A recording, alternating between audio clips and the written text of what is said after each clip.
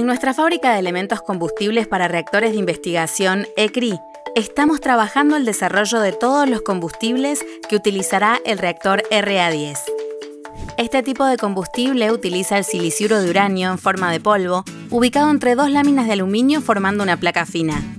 Y alrededor de 20 placas constituyen un elemento. Para cada reactor nuclear de investigación se diseñan los combustibles a medida, ya que todos los núcleos son tan diferentes como los usos que estos reactores tienen. En Argentina y en la CONEA tenemos la capacidad de desarrollar y producir estos combustibles, no solo para nuestros reactores, sino también para exportación.